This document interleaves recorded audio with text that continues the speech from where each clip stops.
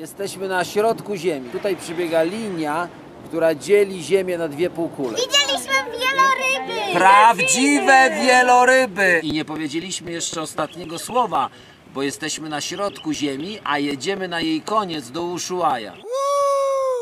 To była największa nasza rodzinna decyzja. Nie jesteśmy wariatami. Zdajemy sobie sprawę z niebezpieczeństw. Dzień dobry.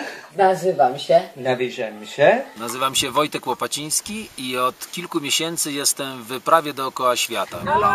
W wyprawie, w której uczestniczę razem z moją rodziną, z żoną i z dwójką dzieci.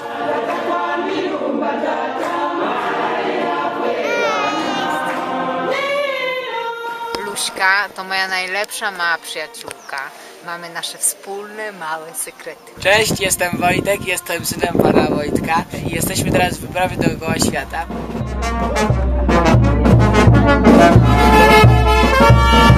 Gdzie jesteście? Gdzie jesteście teraz? Jesteśmy w Dhaka, w Bangladeszu. Paciamanka, Peru. W końcu jesteśmy w chilijskiej winnicy Torresa.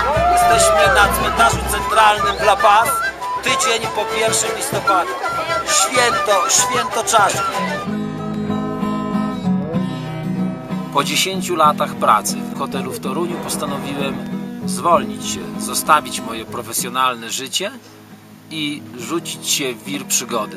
Objechać świat dookoła, zobaczyć wszystkie kontynenty, zobaczyć tak piękne miejsca jak to, Canyon Kolka, tysiąc metrów w dół. My mamy szkołę życia i dotykamy to wszystko rękami normalnie, tak widząc, a nie w książkach. Tutaj są dwa.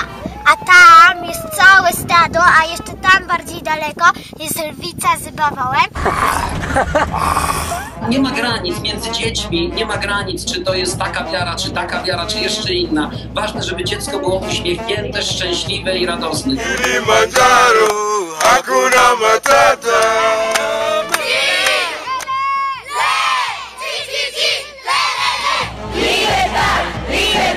Już dwa razy objechaliśmy Ziemię dookoła, także ta wyprawa już nie jest dookoła świata, tylko dwa razy dookoła świata. Panie Dzięki Wojciechu, temu możemy powiedzieć, że jesteśmy światowi.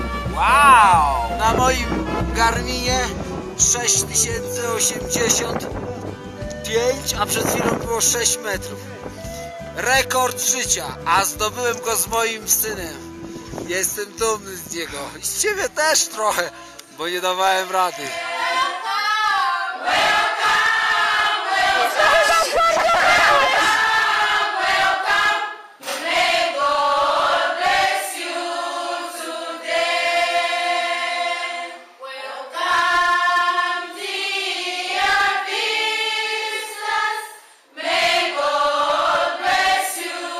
Już tylko dwie godziny do Torunia.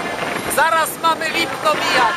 Wróciliśmy właśnie z 365-dniowej podróży dookoła świata. No, odczucia są niesamowite. Po roku wejść do domu, to każdy się czuje dziwnie.